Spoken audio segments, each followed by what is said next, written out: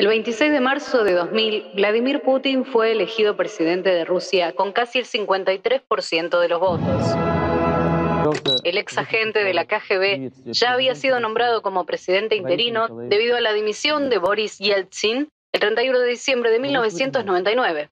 En tanto, el Consejo de la Federación fijó la fecha de los comicios en los que compitieron 11 candidatos, entre ellos Gennady Zuganov del Partido Comunista de la Federación Rusa y Grigori Ivalinsky del partido Yabloko. Eran los dos más firmes competidores del mandatario interino.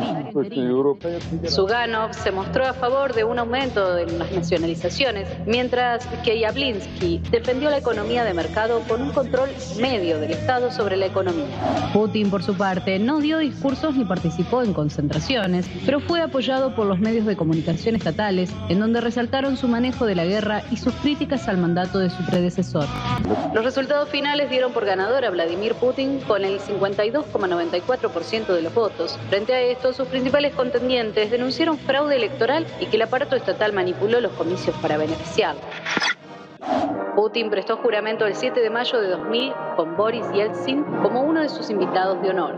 El 26 de marzo de 2000, Vladimir Putin fue elegido presidente de Rusia con casi el 53% de los votos.